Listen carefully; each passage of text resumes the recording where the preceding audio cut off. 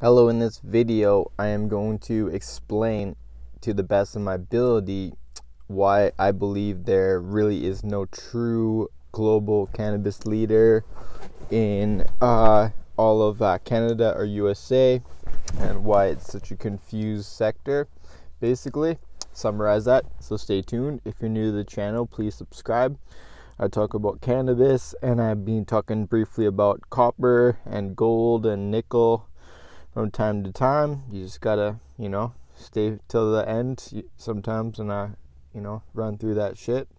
Um, if you're, yeah, I'd leave a comment down below. Give me thumbs up. Appreciate it.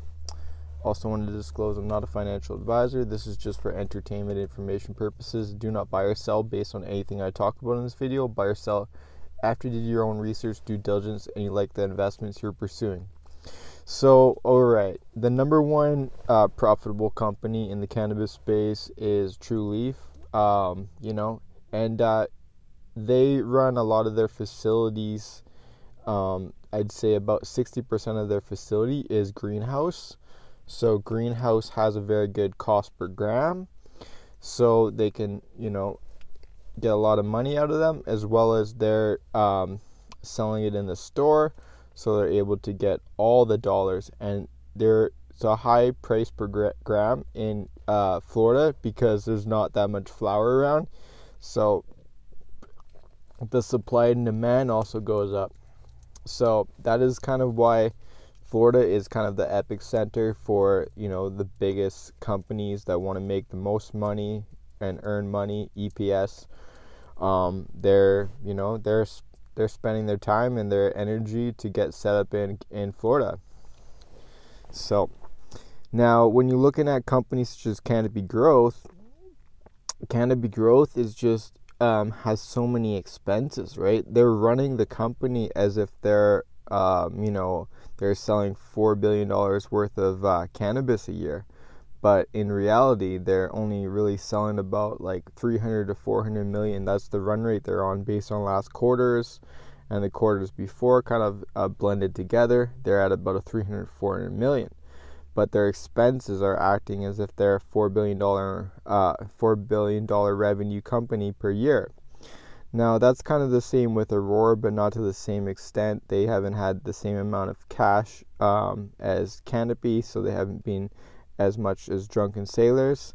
Now, Aurora is investing money and time to be set up into being a global leader, so that is an expensive thing, and the rewards aren't paying for itself yet.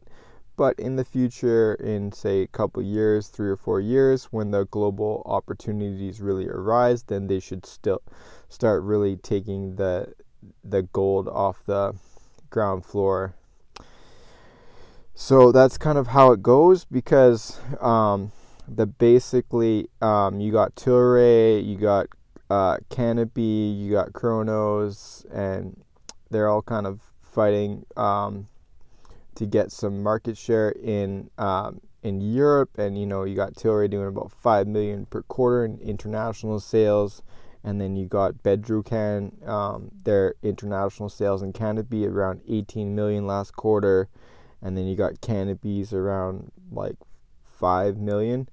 Um, mind you, Tilray's 5.5 million is in USD, so that's closer to about seven to eight million dollars Canadian per quarter. So, you know, it's starting to ramp up, but it's not the same numbers as in Canada or in medical, right? So, that's where the revenues are going to grow substantially in Europe. So that's why they're spending that money, but they don't have those um, countries opened up so they can't really ramp the, the revenues you know. I'm sure aurora would love to be able to make 50 to 100 million dollars in revenue in international. That would really boost their bottom line and get them closer and give them probably profitability if they're able to do that. Now with um, the whole rollout in canada why it hasn't really rolled out as as effectively. Um, not as many stores, so there's been kind of an oversupply based on the stores and the infrastructure. So there seem to be working on it. And I heard there was some type of thing about the companies can can um, you know send it out of their facilities in Ontario now. Um, I think that's so I don't know the exact literature, so I'm not going to pretend I, I know exactly what it meant, but it seems positive towards um, creating more revenues in the in the re- recreational space. So that's good. Um, yeah, so basically, and then you got Tilray that they don't have that that big cash that um, that Canopy and uh, Cronos has, and so you really haven't defined. I also think that the companies in the space they spend too much money getting um, facilities when they should have been spending their time to get um, a really good extraction facility. So I mean, maybe uh, maybe you know Aurora will be setting up good with um, with Radient Technologies. Maybe that'll really ramp and that'll be really good for their business.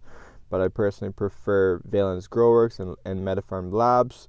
So I think if those companies were added to, to a company's balance sheet, that would really um, you know make them their company's um, EBITDA and their net income go up. So that would really be positive. So that's something that these companies don't have. So they're not able to create as much um, revenues and um, extraction earnings. So that's something, another reason why these companies, there's no really distinct leader in the space yet in Canada.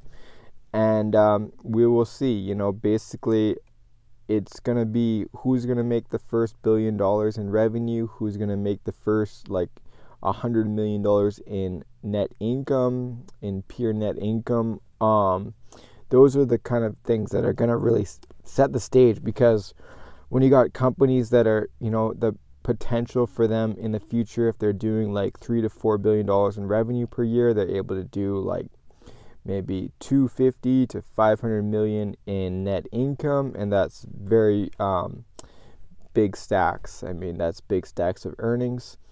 So that's kind of where it's going to be uh, we have to look for uh, companies that have a lot of cash and they're really generating their growth, but they're not spending too much money. So I think as far as the USA goes, I think Kira Curaleaf is going to be the leader for some time coming. But as far as a single state operator, like, you know, the most profitable company, Trulieve is going to be at it for quite a while, I think. Um, because the Florida market is just so hot and they're just reigning supreme. Now, with Canada going up to legalization 2.0, things are going to kind of change around because then it's to it's to matter how much revenue these companies make on their vapes, their edibles, their you know, their chocolates, their their beverages. So, with say if a company like Canopy they did 75 million, then they start doing like 120 135 million a quarter that's to get them closer to EBITDA positive, but their their cash burn is too extensive. See, they spend too much money on in um, having indoor greenhouse in indoor facilities, and they should have spent more time um, working with farmers like Village Farms and um, and extraction legends such as uh, Valens and uh, MediPharm Labs. So that would create a more harm harmony and uh, synchronized, uh, um, really like fully into vertical integr- integrated company. So that is kind of where we're going, but the companies are so scattered because the companies are trying to pick up crumbs here, crumbs here. Like for example, I was writing on Twitter how um, Twitter, I'm thinking that Shoppers Drug Mart is probably around three to five million in revenue. Like not a lot. These companies aren't making a lot of money, but if it say it doubles in 2020, doubles in 2021 from 2020, then within five years, then that um, channel will be around 160 to 300 million. Um, so, and then five years after that, it, it can be upwards of five billion dollars. So that's where we're looking at. You know, the, there's companies that want to get into uh, Shoppers Drug Mart that are already in there, so that they're gonna um, get their piece of that pie. And then with um, you know more stores and being set up in Ontario because Ontario's 14 million um, population, about 40% of Canada's population. So if a company really dominates uh, Ontario in the future, if it becomes like a a billion dollar industry just in Ontario, other companies that are able to get 20 to 30% market share are really going to add a lot of beef to their uh, financials.